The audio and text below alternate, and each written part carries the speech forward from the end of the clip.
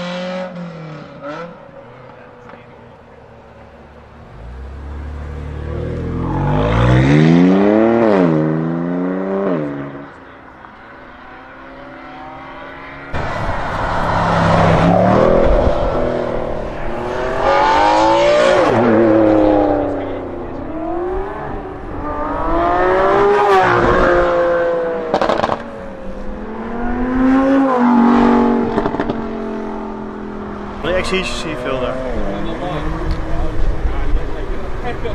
Heb je ook in de gedaan?